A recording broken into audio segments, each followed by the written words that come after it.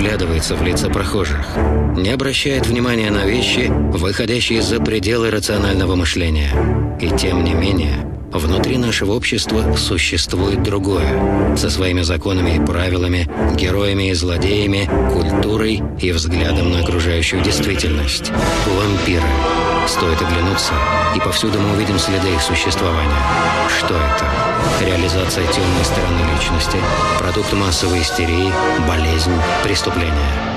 Можно верить или не верить, признавать или отрицать вампиров, но от этого ничего не изменится.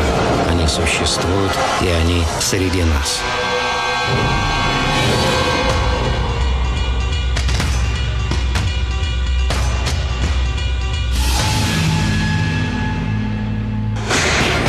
Лето 2004, зима 2006 года. Самые грандиозные проекты в современном российском кинематографе. Ночной и дневной дозор. Впервые за долгое время у кинотеатров вновь очереди. Все билеты проданы.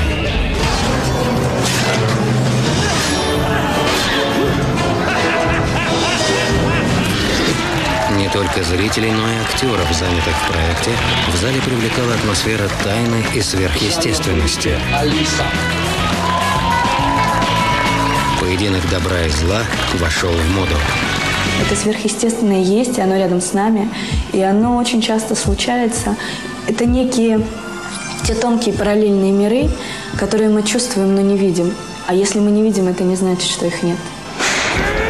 Фильмы, снятые под мигом Сергея Лукьяненко, открыли людям глаза на окружающий мир. Оказывается, в соседней квартире запросто может жить ведьма, колдун или вампир. Здравствуй, сосед. Вампир – это классическая фигура мировой литературы, мировой фантастики. Нас осталось очень мало. И когда кто-то уходит навсегда, мы все сразу чувствуем. Ведь ты же знаешь, что такое наш голод. Вот эта фигура достаточно интересная. Она позволяет показать действительно некую степень падения человека и в то же время некую степень э, страдания, некую степень одиночества, вот такой вот бездны, которая открывается в человеке. Валерий Золотухин и Константин Хабенский вряд ли могли предположить существование чего-то подобного в реальности. Но те, для кого кровь является почти каждодневной необходимостью, все-таки существуют.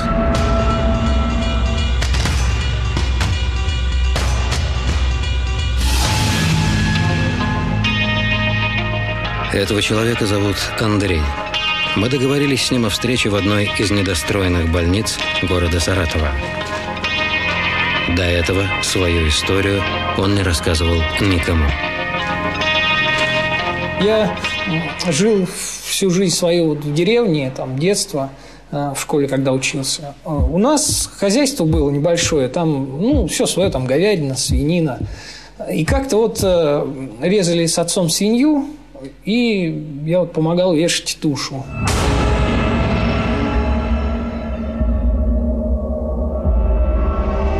Там, ну, натекло, естественно, крови с нее, а я тогда смотрел фильмы там вот про вампиров, там Дракулу, все это.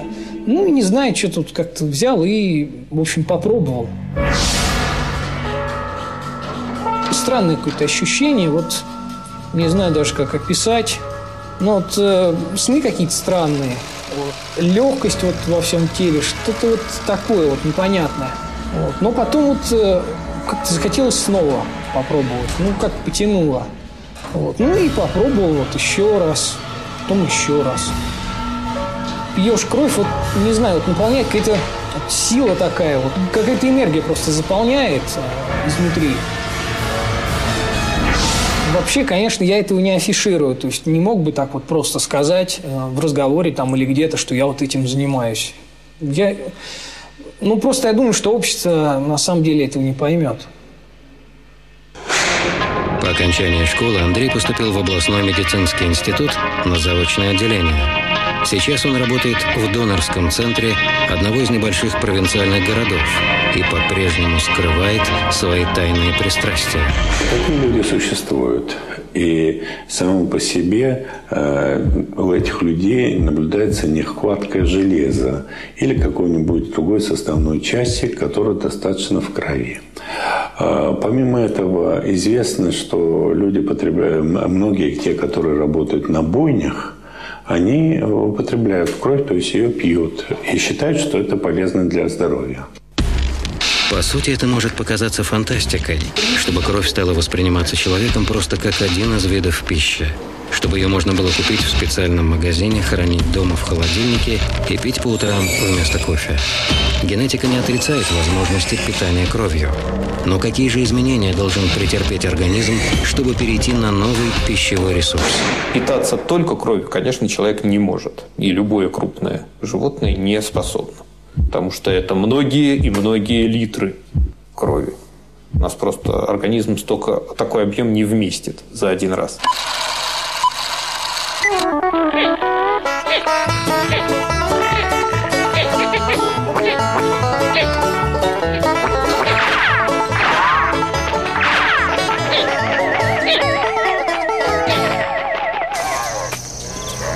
На Земле есть только одно место, где живут настоящие вампиры. Это Южная Америка. Именно здесь они терроризируют местных фермеров. Вампиры питаются кровью больших теплокровных животных.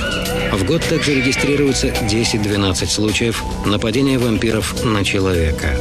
Вампиры – это редкий вид летучих мышей. Животные, избравшие такую странную пищу, как кровь, заплатили за это большую цену. Ничем другим они питаться не могут. Весь их организм устроен так, чтобы питаться кровью. Если вампир укусит обычную летучую мышь, организм ее изменится, и она станет испытывать жажду крови. Человек тоже животное, только наделенное разумом. Возникает вопрос, возможно ли подобные перестройки в нашем организме? Процесс превращения не вампиров в вампиров занял, по всей видимости, около 20, может быть, больше миллионов лет. История человечества насчитывает примерно в четверо меньше.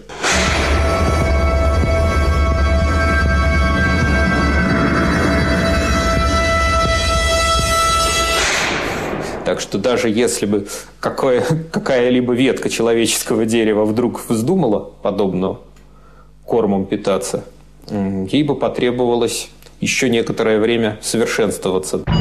Благодаря своему ночному образу жизни и пристрастию к крови, летучие мыши получили дурную славу среди людей – и хотя по-настоящему опасными для человека они никогда не были, их не просто не любили или опасались. Их боялись. Они летают очень быстро и почти бесшумно, способны ориентироваться в полной темноте, живут в мрачных пещерах и гротах, и если нападают, то молниеносно. Естественно, такие существа пробуждали в людях массу страхов. Летучие мыши появлялись только ночью и ассоциировались именно с ней.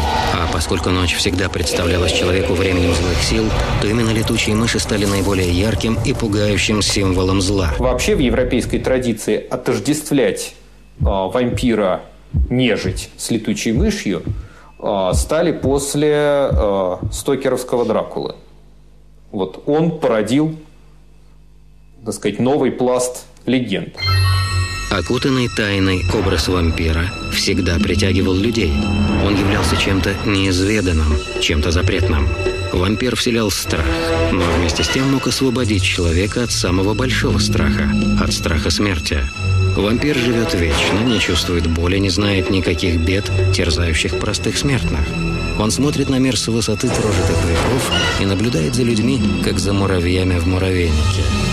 Чтобы жить вечно самому, вампир должен постоянно убивать людей и пить их кровь. Классический образ вампира – это существо, живущее в черном, питающееся красным и тянущееся к светлому. Согласно легенде, вампиром может стать любой человек, в котором внутри преобладает темная сторона. Принимает ли эта темная сторона такую форму, как э, форму вампиризма, то есть стремление пить человеческую кровь? Э, ну, это уже скорее к моим бывшим коллегам, к психиатрам. Это случаи, к счастью, редкие. Скорее у нас э, люди, в общем-то, с удовольствием склонны пить чужие страдания, пить чужие силы, пить, может быть, чужую жизнь. В переносном смысле, разумеется. Каждый человек время от времени ощущает присутствие неких флюидов, которые он способен передавать или получать от других. Чем больше вокруг людей, тем сильнее чувствуется их энергия. В некоторых местах это проявляется особенно ярко. И те, кто постоянно находится на гребне энергетической волны, испытывает это на себе в полной мере. Ты выходишь на сцену, и ты, ты ощущаешь на себе такой негатив, что после 10 минут выступления ты можешь просто выйти, и у тебя нет никаких сил. У тебя начинает болеть голова, у тебя портится настроение, и э, ты физически себя чувствуешь слабым.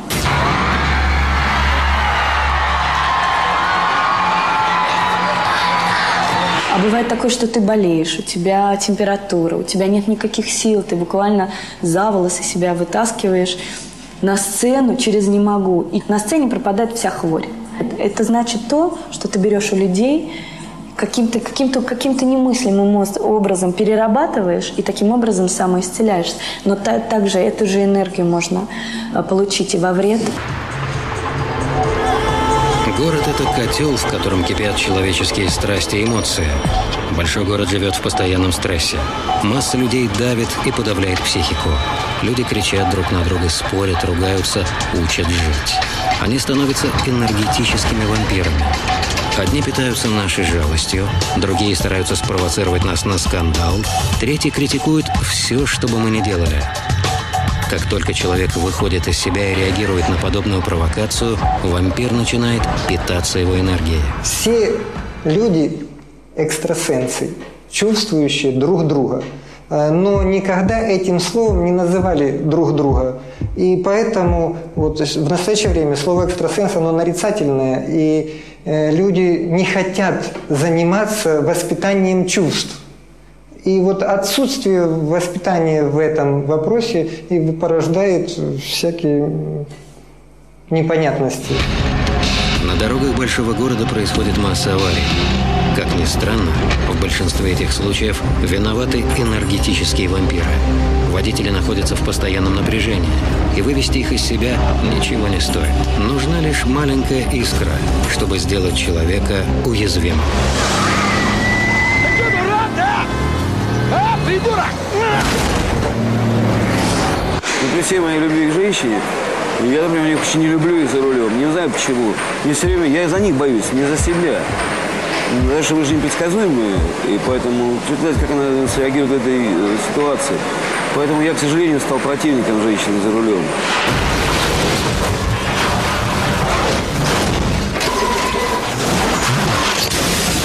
У меня часто бывают срывы. Либо я торможу, там, либо я выговариваюсь, отъехав дальше, потому что, не знаю, это бывает за рулем. И, естественно, с моим братом по полу тоже бывает. Настоящим подземным логовом энергетических вампиров является метро. Толкотня, давка, теснота нарушает личное пространство человека. Существует множество способов защититься от энергетических вампиров, и наиболее распространенным считается мысленное построение стены. Зинка, нас бы под очками попрятали, пахать на вас надо кровопийцы. Но это помогает не всегда. Я ехала в метро, это был 92 год. Я закрыла глаза, потому что какой-то человек на меня все время смотрел.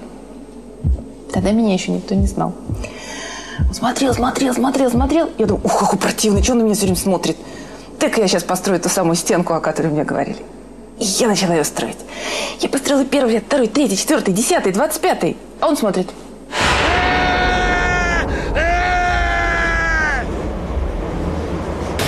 Я подхожу к выходу, потому что была моя станция метро. И он мне говорит, вы что, строили кирпичную красную стеночку, да? И дальше он требовал продолжения разговора. Я так испугалась.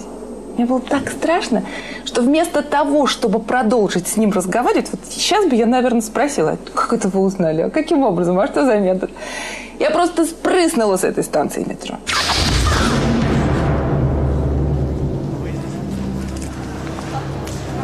Извините.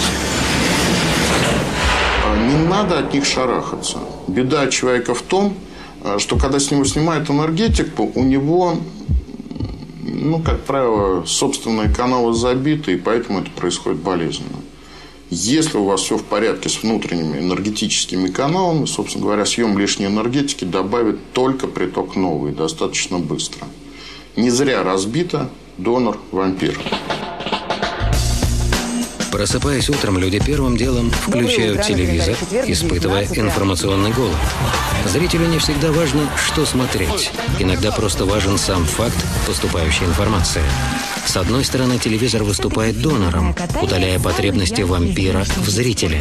С другой, сам становится вампиром, привязывая к себе, создавая зависимость человек э, получает из телевизора э, некие эмоции, то, чего ему не хватает. Да? Соответственно, если ты ведущий по эту сторону экрана, ничто так не выматывает, как прямой эфир. А это кто? Хозяева. Джинс тоник. Ночью скидки. Тут ты озверел совсем? Нечего во время еды телевизор смотреть. Зрение портит виды этих флюидов могут быть совершенно разные. Это может быть настроение, это может быть некий поток информации, может быть что-то просто новое с точки зрения знаний, но да, только не назвал бы телевизор вампиром, я назвал бы его скорее таким источником подзарядки, к сожалению. В начале 90-х годов телевизор заполнили всевозможные экстрасенсы. Сеансы Чумака и Кашпировского собирали у экранов почти все взрослое население страны. Несмотря на то, что имели место случаи реального исцеления людей, оказалось, что игры с человеческой энергетикой очень опасны. Лечение один на один, ты лично ответственен за того, кто перед тобой сидеть. В группе тоже, когда ты управляешь группой психотерапии. А когда стадион, быть ответственным за всех невозможно. И прогнозировать результаты, у кого что будет, тоже невозможно. И кто придет к тебе на стадион, тоже невозможно. К сожалению, вот это и оправдалось. Одним из древнейших способов защиты от вампиров, в том числе и энергетических, считаются амулеты. Подобный амулет может быть сделан из кусочков простой кожи, но обязательно пропитан собственной кровью. И это не случайно. Кровь – это символ энергии, наполняющей человека. Знающие люди утверждают, что просто амулета мало. Не менее важна гармония внутри личности. Прежде всего, человек должен разобраться сам в себе все беды, на мой взгляд, любого человека заключаются в том, что человек не совсем в состоянии сказать правду самому себе, о самом же себе.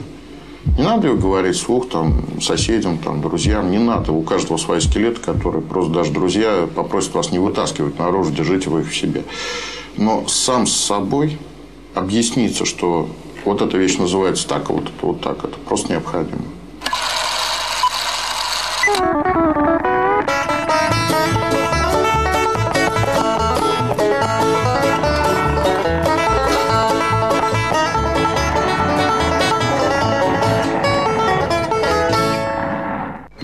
Москва – чистые пруды.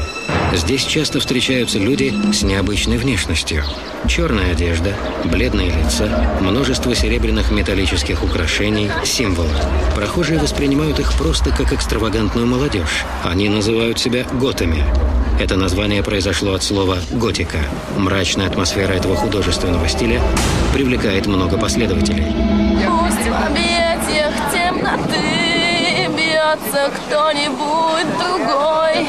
Мы свободны и чисты, мы проходим стороной. Спасибо. Готика и вампиризм тесно переплетены между собой. Готы и вампиры – это э, две вещи, которые не могут разделиться между собой. Летучие, так же, как летучая мышь и полночь. Потому что мы все, на самом деле, все готы хотят в конце концов стать вампирами. Нам нравится стиль вампиров, нам нравится, как они одеваются, нам нравится, как они живут. Мы сами бы хотели бы жить в темноте, в полной темноте и, и стать э, такими же, как они. Прообразом самого известного вампира был реальный человек. Влад III Цепиш, более известный как Дракула, родился в Румынии в 17 веке. Он прославился благодаря неистовой отваге и столь же неистовой кровожадности. Он был немыслимо жесток и к врагам, и к союзникам, и к подданным. Рубил им головы, сжигал, сдирал кожу, вспарывал животы, сажал на пол. Жуткие деяния Влада вошли в легенды, приписывающие Дракуле сверхъестественные черты. В 1987 году писатель Брэм Стокер создал своего графа Дракулу. Популярность романа была настолько велика, что он и по сей день является символом и лицом вампира. Через сто лет американская писательница Энн Райс продолжила его дело, создав не менее яркие образы вампиров и интеллектуалов. Ее роман «Интервью с вампиром» стал классикой не только жанра, но и мировой литературы. Все образы, созданные после, походили либо на кровожадного Дракулу Стокера, либо на философствующий героев Райс. В истинных вампирах э, в них, может быть, отсутствует та часть готики. То есть есть вампиры-эстеты, а есть вампиры-звери. Э, мне кажется, то, что как бы страшнее встретиться с вампиром-зверем, чем с вампиром-эстетом.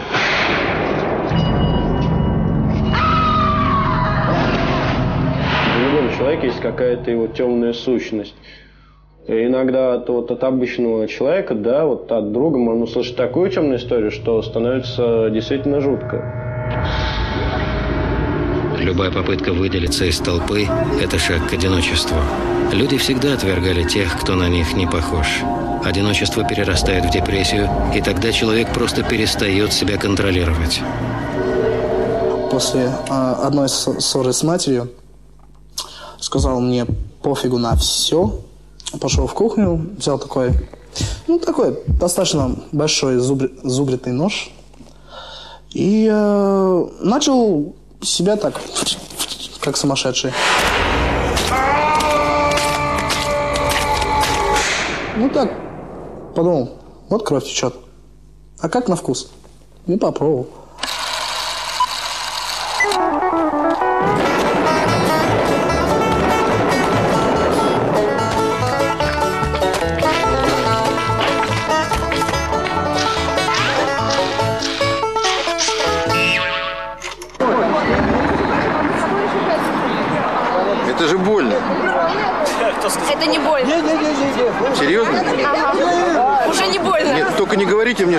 приятно.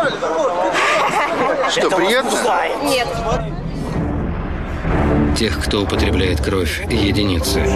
Лишь небольшой процент от общей массы, шагнувшие дальше остальных. Но, тем не менее, они все-таки есть. То, что шокирует стороннего наблюдателя, для них всего лишь нормальное выражение чувств.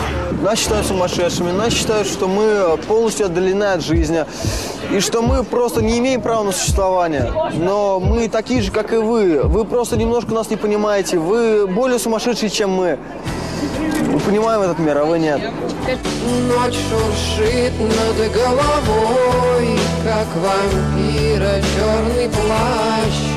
Мы проходим стороной, эти игры не для нас. Пусть в объятиях темноты бьется кто-нибудь другой. Мы свободны и чисты, мы проходим стороной. Но я думаю, что лидеры этого движения, возможно, для того, чтобы а, создавать вокруг себя вот эту вот группу людей, они, да, может быть, они и истинно в это верят и несут эту идею. Ты симпатичный. Жалко, что вампир.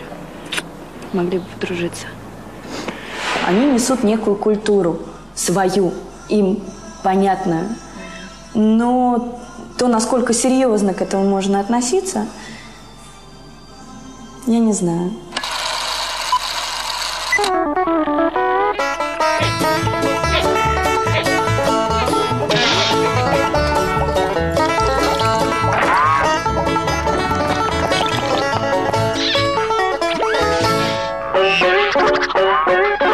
В детстве когда-то был увиден фильм, еще черно-белый, по-моему, 30-х годов, под названием «Дракула». И там, значит, с экрана на зрителя надвигалась такая романтическая обстановка, то есть не было ни крови, ничего подобного, была вот какая-то э, обстановка, когда э, скорее даже одно существо зависит от другого. Более 10 лет назад песня «Ночь» группы «Пикник» положила начало вампирской тематике в нашей музыке. И сегодня упоминание в их песнях вампиров – это метафора, необходимая, чтобы ярче показать мир внутри и вокруг каждого человека. Помимо этого, в творчестве группы переплетена масса других тематик. Здесь нашли свое отражение тайны древности, загадочные символы, темные силы и человеческие страсти. Мне кажется, не может быть искусства, которое не оперирует э, своих, например, э, ну, не, в достижении чего-то не использует так или иначе какие-то темные стороны. Ой, не буду горевать, буду танцевать.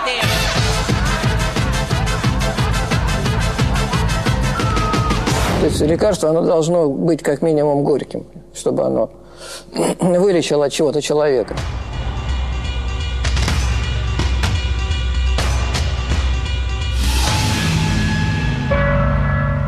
Эту девушку зовут Галя. Она специально приехала в Москву на интервью из Таганрога. Она художница. Объектом своего творчества Галя выбрала вампиров. Иногда вот очень хочется стать чем-то большим, чем человек. Ну, как бы возможности нет. То есть я как бы не верю в то, что а, существуют там какие-то там действительно там реальные вампиры, которые вот а, там ходят там ночью по улицам, пьют у людей кровь. Это, в принципе, как бы по большей части все какие-то излишки. Есть еще одна особенность в творчестве молодой художницы. Некоторые рисунки она нарисовала собственной кровью. Такой своеобразный автопортрет. Как я себя представляю. Это не кровь. Это всего лишь томатный сок. И острой тяги к крови Галя не испытывает. Но зато она любит есть сырое мясо. Это, по ее словам, является для нее стимулом в творчестве. За то, что у меня немного иное мировоззрение, чем у остальных людей, меня вот периодически пытались направить в психиатрическую больницу. Вот это, конечно, может быть, в какой-то степени неприятно, но как-то я уже к этому спокойно отношусь. Просто как бы люди не понимают. Вот, а мне кажется, что это вполне нормально. Не все художники рисуют на бумаге. Для некоторых холстом является человеческое тело. Это один из самых известных тату-салонов в Москве. Мастер Александр Огнев привык встречаться и с татуировками на вампирскую тематику. Тату-мастер никогда не дает клиентам совета. Конкретно вампиры – это что-то какая-то тема с крестами, тема с э, готическим шрифтом, замки, что-то мрачное такое, темное, мыши летучие. Ну, приходят, да, люди приходят. Но и то мы додумываемся, сами догадываемся от как неком их ихнем происхождении или отношении там к вампиризму, скажем так, не более. Рисунок на своем теле каждый выбирает сам. Это очень серьезное решение. Заживаю. Татуировка остается с человеком на всю жизнь, отражая его истинную сущность. Люди редко выбирают рисунок по внешнему виду. Рисунок несет в себе смысл, рассказывая что-то о том, кто его носит. Каждый имеет право на свой голос. Сатанисты там на свое, там готы на свое. Ну, мне кажется, сейчас готика не та, которая раньше была. И которая там э, в Лондоне или где-то там, да, люди продвигают эту идею. Сейчас год это больше там э, тусовка, культура, одел черное, постригся там так, так, вот выглядит. Все, всего лишь. Какие-то духовные вот эти вот углубленные там моменты, их нету. –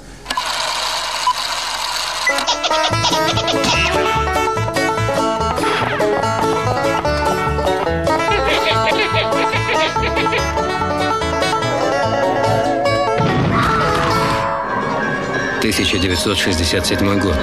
«Вий» – первый советский фильм ужасов. Впервые с экрана произнесены долгожданные слова.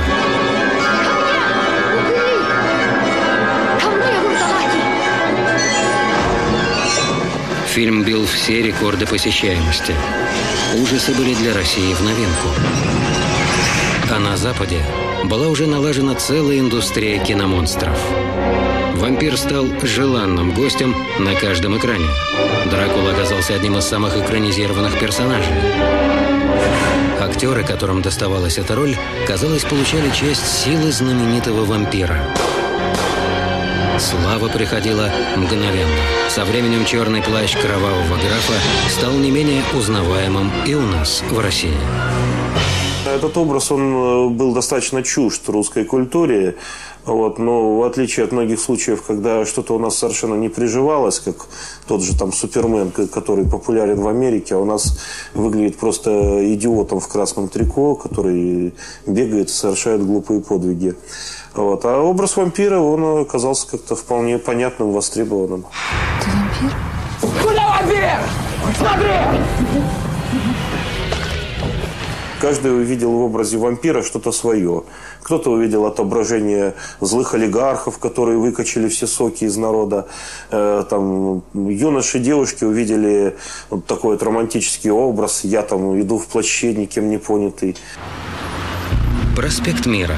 Дом 184, известный в Москве как Дом на курьих ножках. Именно здесь разворачиваются основные события ночного и дневного дозора. А рядом в ночном кафе встречаются поклонники дозоров. К своему увлечению они относятся совершенно серьезно, обсуждают проблемы и вопросы, появляющиеся в мире вампиров. Для этого мира у каждого из них есть свое собственное имя и своя собственная личность. На созданном ими сайте день за днем они живут своей виртуальной вампирской жизнью. Мы даем возможность отыграть именно то свое какое-то темное начало, вот звериное. Не секрет, что у нас есть две стороны личности. Осознанная, социальная, реализуемая, и темная, неосознанная, то, что запрещено реализовать.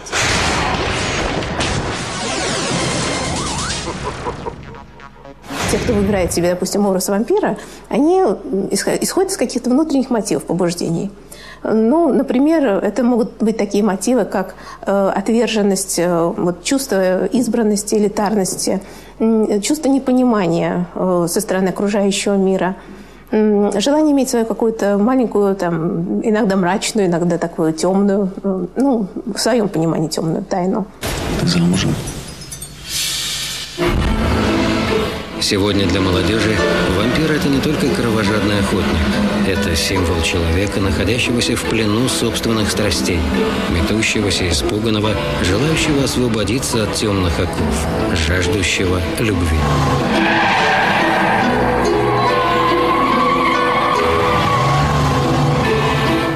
Образе вампира сочетается множество разных тем, которые особенно сейчас близки людям. Это тема одиночества, и в то же время, как противоположность одиночеству, точнее, как его обратная сторона, тема выделения себе из окружающих, превосходства над ними. Опять же, это какая-то своя темная сущность, которая мысль, что можно жить за счет других, можно пить их кровь. Для тех, кто ощущает свое одиночество особенно остро, необходимость постоянно забирать чужую энергию становится смыслом жизни. Днем эти люди выходят в город в поисках своих жертв. Это похоже на охоту. Охотники провоцируют нас на грубость, на стычки, на скандалы, чтобы вызвать отрицательные эмоции. Для них безразлично, от кого они получают силы.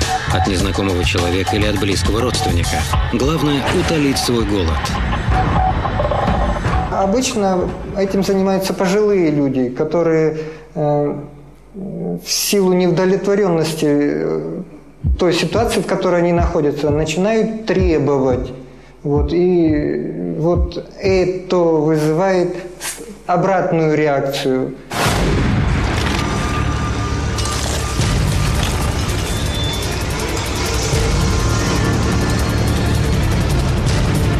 А чтобы ее погасить, надо всего-навсего э, не ответить. Ну, как Толстой говорил, непротивление злу насилием сразу это все успокаивается. Не секрет, что каждый из нас хоть раз в жизни сталкивался с представителями определенных профессий, после общения с которыми он чувствовал себя обессиленным и опустошенным. Лейтенант Сомов, предъявит Есть, к сожалению, некоторые профессии, к сожалению, туда же относится профессия врача. Это как где имеется профессиональная деформация личности. То есть э, люди, которые в силу своих профессий общаются с людьми, которые от них зависят. Напился. Напился. Те, кто неправильно оценивает свои возможности и начинает диктовать свою точку зрения людям, которые от них зависят, невольно становятся энергетическими вампирами. Вот, вот, вот реально бьете, а? К сожалению, ну, чего греха таить, во всех этих специальностях есть люди, которые вместо того, чтобы заниматься лечением, занимаются самоутверждением. Из всех профессий, где наиболее ярко происходит обмен энергией между людьми, выделяется профессия актера. Актеры зал одновременно опустошают и наполняют друг друга чувствами и эмоциями. Этому не учат в театральных институтах. Каждый постигает это сам. Мне, например, обидно, когда некоторые молодые артисты да, работают с полноги боясь да, расплескать энергию, не понимая, что она вернется, обязательно вернется. И, вот, к сожалению, ее расходуют порой не туда, и этим, этим пользуются, да, наверное, как называемый энергетический вампир. И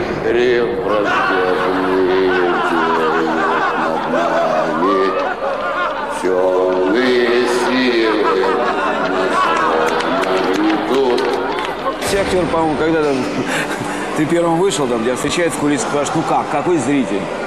Ну, я говорю, да вроде нормальный, или вроде какой-то уставший. Это чувствуется. Это необъяснимая штука, но она есть.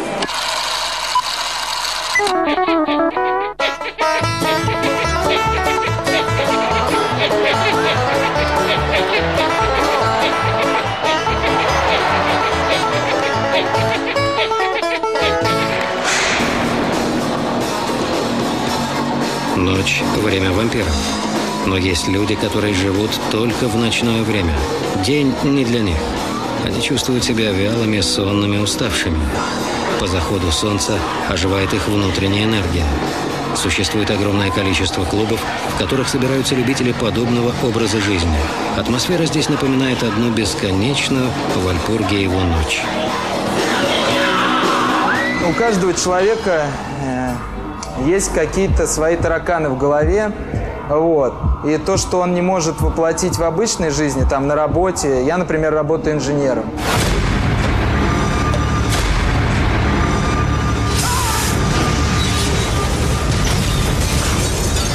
Днем я работаю, вечером играем, как бы. Просто нравится такой образ жизни. У каждого из музыкантов свои кумиры, черты которых угадываются в их внешнем облике. А для тех, кто их окружает, это новая степень игры, шаг в темную реальность. Вампир это кто? Это такой романтический персонаж, да, это кто-то очень одинокий, вечно молодой при этом.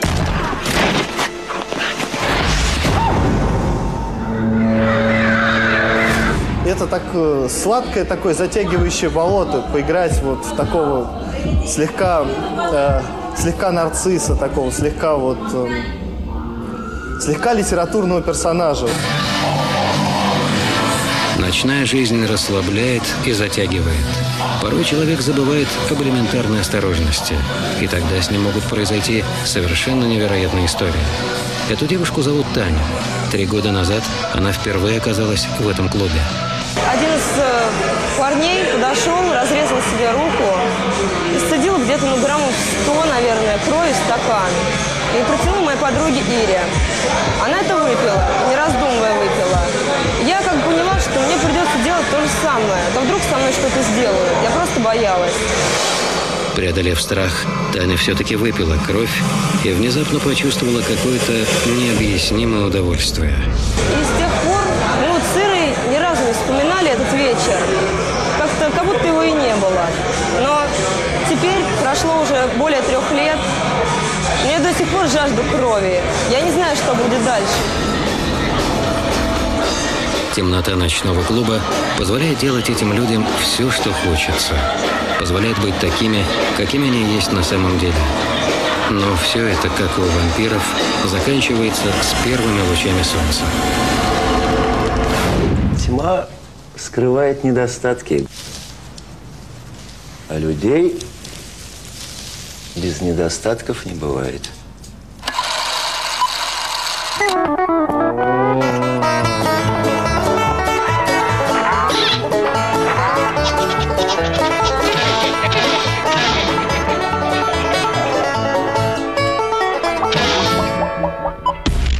Смерть от солнечного света не легенда. Существует редкая болезнь крови – порфирия – Название произошло от греческого слова «порфирос» – «красный». Еще ее называют болезнью Дракулы. Случаи заболевания один на миллион, но они имеют место по всему миру. Число порфириновых болезней, число порфирий, оно одинаково во всем мире. Как в Румынии, скажем, во Франции, Германии, Штатах и, или в нашей стране. Много клинических разновидностей порфирий, и это, в общем-то, все ну, зависит от того, на каком уровне произошло нарушение вот этого метаболизма порфирина. Как ни странно, симптомы болезни описаны в любом классическом вампирском романе.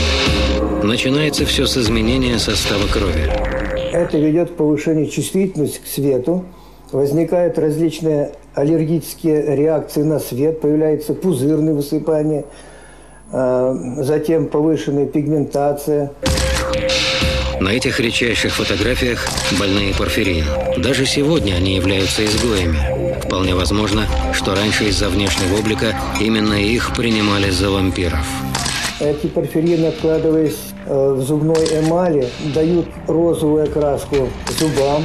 И эти, эта розовая краска под влиянием обычного света флюоресцирует, и э, эти зубы ну, становятся красными, как бы термин такой «зубы вампира». Германия. Счастливая семейная пара. Канцлер Гельмут Коль и его жена Хенелора. Со своим мужем она познакомилась еще в школе. В 16 лет Хенелора была первой леди страны. Она активно участвует в социальной и благотворительной деятельности. Но ее уже точит ужасная болезнь.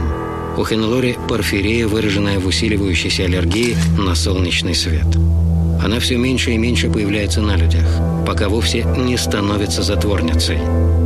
Последние восемь лет своей жизни она провела в темноте. 5 июля 2001 года Хинелор Коль покончила с собой, приняв смертельную дозу таблеток. Ее смерть стала национальной трагедией. Похороны первой леди превратились в марш скорби на улицах Берлина. Вообще доказано, что один человек из 200 тысяч может и заболеть. Это действительно изменение на уровне генов.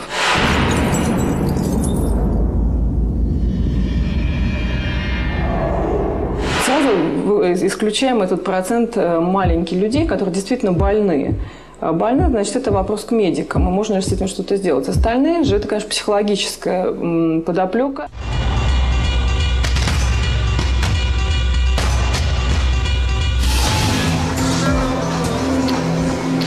Вампира в толпе не всегда бледное лицо и горящие глаза. Иногда он просто неузнаваем. Серая внешность, ничем не примечателен, живет среди нас. Этого человека зовут Виктор. Он был обыкновенным парнем, таким же, как все, со своими увлечениями. Я очень много читал, очень много ходил в библиотеки.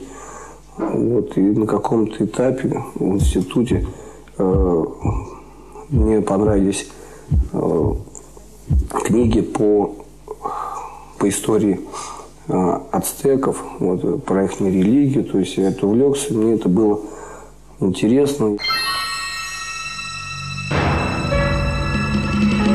Основа их религии заключалась в том, что у них э, все вот эти обряды, они были замешаны на крови.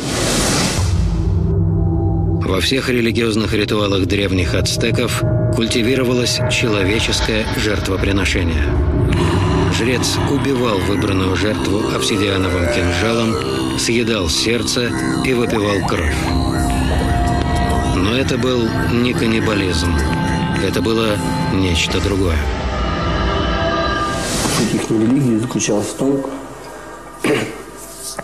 то, что они с помощью чужой крови пытались продлить э, свою жизнь. Вот, и вот эта мысль, она мне засела в голову.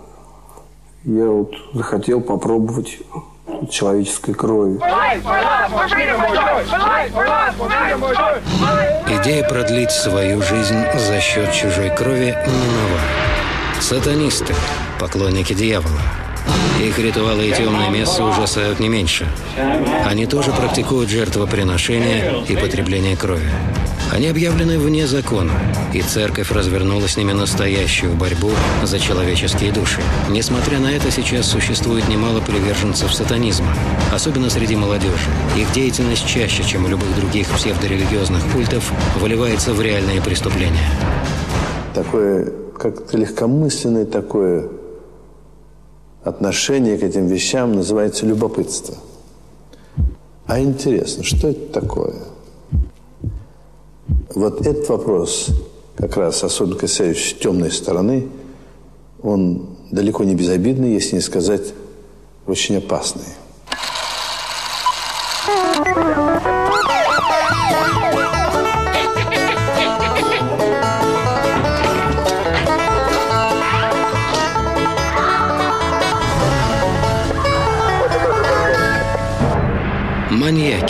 Серийные убийцы.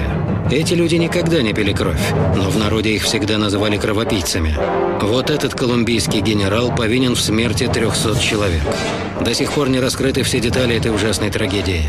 Неясно, что двигало этим человеком и что заставило его совершить это ужасное зло. Непонятные мотивы, заставившие убить 11 человек и Сергея Головкина по прозвищу Фишер. Неразгаданной остается и тайна самого жестокого маньяка Андрея Чикатила, собственноручно убившего более полусотни человек. Но объединяет их всех одно – кровь. Когда человек попадает, скажем, э, в среду убийц или там э, в какую-то другую антисоциальную среду, они его, ну, условно, мажут кровью. То есть он его заставляет принимать участие в криминале, тогда он становится своим. То есть он так же уязвим, как все остальные. Институт имени Сербского. Закрытое учреждение. Именно сюда помещают преступников для проведения судебно-медицинской экспертизы. Материалы дел, с которыми приходится ознакомляться врачам, способны повергнуть в шок любого неподготовленного человека. Ведь каждый тон на этой полке – леденящая душу кровавая история. На старом Агвате, вот где стена Цоя, вот около этой стены мы выловили человека, ему было, наверное, около 30 лет где-то. Был удар по голове цепью, он был оглушен.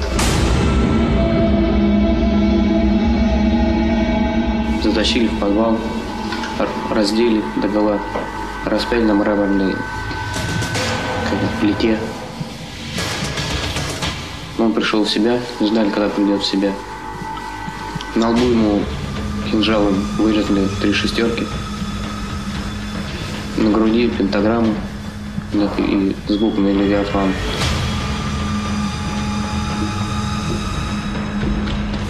Он был поднят за руки, подвешен, разрезан живот, под него был поставлен таз, и кровь с него стекала, пока он не умер.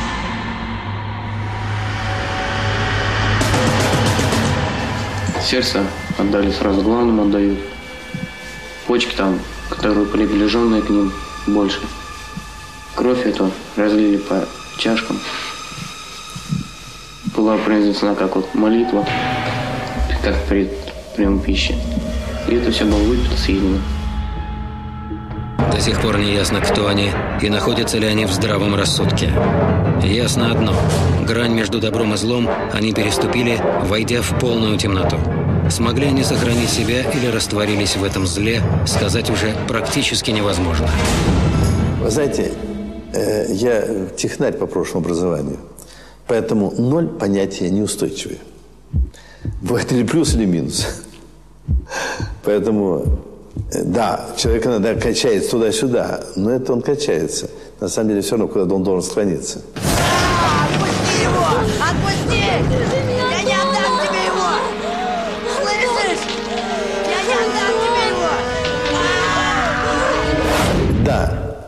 Я согласен, что в жизни иногда эта грань очень тонкая и неуловимая. Но она существует. Внутри каждого из нас существует и свет, и тьма. И это естественно. В этом нет ничего необычного или плохого. Плохо, когда люди не признаются себе в этом. Плохо, когда человек отрицает то, что временами он бывает этим самым вампиром. Подсознательно каждый все равно чувствует, когда причиняет душевную боль или страдания другим людям.